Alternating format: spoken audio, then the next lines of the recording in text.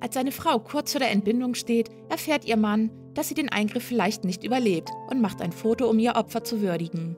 Aber dann, nur eine Minute später, geschieht etwas wahrhaft Wunderbares. Obwohl sie Zwillinge in sich trug, fühlte sich diese Schwangerschaft für Bridget nicht anders an als die anderen. Sie hatte bereits drei Kinder zu Hause und erinnerte sich genau daran, wie sie sich die letzten Male gefühlt hatte. Sicher, sie war etwas müder, aber es gab nichts, was auf etwas Unnormales hindeutete.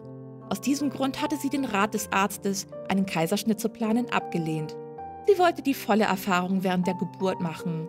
Als ihre Fruchtblase schließlich platzte und sie von ihrem Mann Chris ins Krankenhaus gebracht wurde, geschah etwas völlig Unerwartetes. Die Ärzte sagten Dinge, die sie nicht verstand. Nicht nur, dass sie Worte benutzten, die sie noch nie zuvor gehört hatte, auch die brennenden Schmerzen, die sie erlebte, machten ihr Gehirn zu Brei.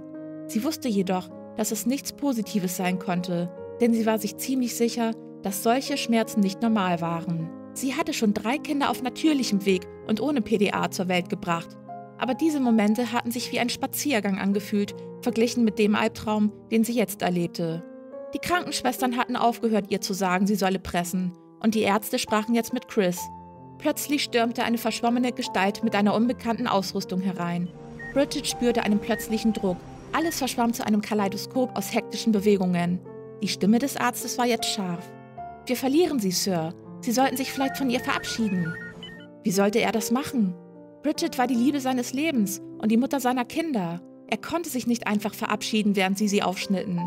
Zumindest musste er ihr erklären, warum er dem Notkaiserschnitt zugestimmt hatte, obwohl sie sich eine natürliche Geburt gewünscht hatte. Er musste ihr auch dafür danken, dass sie ihren Körper und ihre Gesundheit geopfert hatte, um zwei weitere Kinder auf die Welt zu bringen. Er musste ihr sagen, dass ihre Babys sie nie vergessen würden. Und er musste ihr sagen, dass er sie liebte. Aber das konnte er nicht in der einen Minute tun, die ihm die Ärzte zugestanden hatten. Also tat er etwas anderes. Er fischte sein Handy aus der Tasche, öffnete die Kamera und machte schnell ein Foto von Bridget. Sie würde es hassen, dachte er. Sie sah total zerzaust und ehrlich gesagt ein bisschen eklig aus, mit dem Blut, das aus ihr herauskam, und ihrem verschwollenen Gesicht, das mit Schweiß und Tränen bedeckt war. Aber für ihn war sie die schönste Frau der Welt und hatte noch nie so anmutig und stark ausgesehen. Hier war sie und gab ihr Leben für ihre Zwillinge. Und er war hier und verabschiedete sich mit einem Foto. Die nächste Minute verging wie im Fluge. Die Zeit verzerrte sich, als zwei Ärzte den Bauch seiner Frau öffneten und zwei Kinder herausholten. In diesem Moment bemerkte Chris nicht einmal, dass sie sich stark voneinander unterschieden. Er bemerkte auch nicht, wie die Ärzte sich beeilten, Bridget zuzunähen. Er sah nichts von dem Wunder von Leben und Tod, das sich vor ihm abspielte, denn seine Augen waren auf das Bild fixiert, das er gerade aufgenommen hatte. Das Sonnenlicht schimmerte durch die Fenster des Operationssaals. Es fing Bridget zerzaustes braunes Haar ein und noch etwas anderes. Direkt über ihrem Kopf bildete ein Kreis aus Licht einen fast perfekten Heiligenschein. Ein Kamerafehler? Ein Trick des Objektivs? Dennoch überkam ihn ein unheimliches Gefühl der Ruhe. Mit zittrigen Fingern untersuchte er das Foto. Der Heiligenschein schien fest zu sein. Und er strahlte eine sanfte Wärme aus. Aberglaube war nicht sein Stil, aber verzweifelte Hoffnung flammte auf. Ausgerechnet zu diesem absurden Zeitpunkt erschien eine Ärztin in seinem Blickfeld. Sie war schon die ganze Zeit da gewesen, und doch sah Chrissy erst jetzt. Ihr Gesichtsausdruck war schockiert, aber ihre Worte durchbrachen die erstickende Spannung. Deiner Frau geht es plötzlich besser. Ihr Zustand ist immer noch kritisch, aber in der letzten Minute hat sich ihr Zustand leicht verbessert. Dem Unglauben stand eine verzweifelte Erleichterung gegenüber, die ihn zu überwältigen drohte.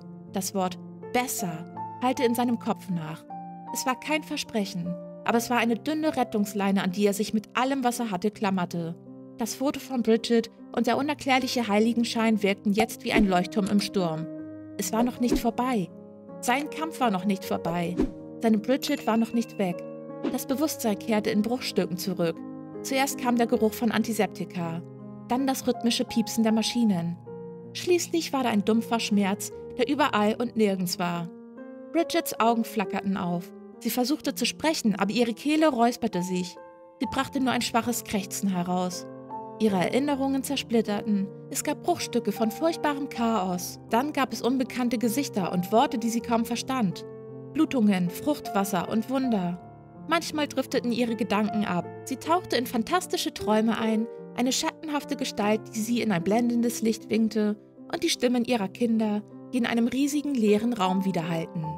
Dann kam der Tag, an dem ihre Gesichter mehr als nur eine verschwommene Vision waren. Ihre Berührung war ein Anker, der sie immer wieder in die reale Welt zurückholte, auch wenn ihr Geist wieder zu entgleiten drohte. Eine Krankenschwester erklärte ihr die Tortur mit leisem Mitgefühl. Diesmal verstand Bridget die Worte. Fruchtwasserembolie oder AFE. Das Fruchtwasser in ihrem Bauch war in ihren Blutkreislauf gelangt und hatte einen Herz-Kreislauf-Kollaps verursacht. Mit noch weniger Worten, sie war bei der Geburt ihrer Kinder fast gestorben. Der Notkaiserschnitt hatte die Zwillinge gerettet und das schnelle Handeln der Ärzte hatte ihr Leben in einer einzigen Minute gerettet. Apropos Zwillinge. Als sie die beiden in den Armen halten konnte, waren zwei Tage vergangen, seit sie auf die Welt gekommen waren. Und sie konnten unterschiedlicher nicht sein. Chris erzählte ihr, dass er es nicht einmal bemerkt hatte, als sie aus ihrem Mutterleib gehoben wurden, weil er zu sehr mit ihr beschäftigt war. Aber es war sehr leicht zu erkennen, dass ihre Babys keine eineiigen Zwillinge waren. Nicht nur, weil das eine ein Mädchen und das andere ein Junge war, sondern auch, weil eines der beiden weiß und das andere schwarz war. Laut den Ärzten war das ein weiteres Wunder. Normalerweise haben Kinder von gemischten Paaren eine Hautfarbe, die wie eine Mischung aus der Hautfarbe ihrer Eltern aussieht. Zumindest war das bei den ersten drei Kindern von Chris und Bridget der Fall gewesen. Der kleine Junge hatte den dunklen Teint seines Vaters und seine kleine Schwester den hellen Teint ihrer Mutter. Bridget konnte es kaum erwarten, das Krankenhaus zu verlassen und mit den Wunderzwillingen ein neues Kapitel in ihrem Leben zu beginnen. Aber die körperliche Genesung verlief quälend langsam. An manchen Tagen verschlug es ihr den Atem, wenn sie sich nur aufsetzte. Ihr ein so starker Körper war zum Verräter geworden aber es gab auch Triumphe, angetrieben von der Liebe, die sie umgab. In den ruhigen Momenten lag der Geruch des Krankenhauses noch in der Luft. Er erinnerte sie eindringlich daran, wie nah sie daran gewesen war, alles zu verlieren. Es gab Augenblicke der Dankbarkeit, die so stark waren, dass sie zitterte. Jede Umarmung ihrer Kinder, jedes Lächeln von Chris fühlte sich wie ein Geschenk an, das sie nicht mehr als selbstverständlich ansah. Doch Chris schien anders zu sein. Er war ruhiger, und ein Schatten lauerte in seinen einst hellen Augen. Er lächelte, aber es entstand eine Distanz. Die Nahtoderfahrung hatte sie beide berührt, aber während sie sich ins Leben zurückkämpfte, schien er im Echo des Traumas gefangen zu sein. Sie versuchte ihn zu erreichen, aber er drückte nur beruhigend ihre Hand und wechselte das Thema. Diese wachsende Kluft warf einen dunklen Schatten auf ihre neu entdeckte Freude. Dann fand sie das Bild auf seinem Handy. Sie hatte nach dem ersten Foto von ihr und den Zwillingen gesucht, als sie das vermeintlich letzte Bild sah, auf dem sie atmete. Ihr Atem blieb ihr am Hals stecken, als sie den Heiligenschein bemerkte.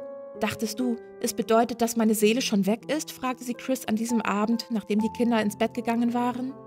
Vielleicht war das der Grund, warum er jetzt immer so düster aussah. Nein, antwortete er. In diesem Moment wusste ich, dass ein Engel dich beschützt und dass du zu mir zurückkommen würdest. Und das bist du auch. Er hatte noch nie eine so verzehrende Angst erlebt wie die, die er empfunden hatte, als die Ärzte ihm sagten, er solle sich verabschieden. Und obwohl er nie ein abergläubischer Mensch gewesen war, wusste er, dass der Heiligenschein über dem Haar seiner Frau kein Zufall war. Jemand dort oben wollte, dass Bridget lebt und er würde für immer dankbar für dieses Geschenk sein. Was für ein gruseliges Märchen.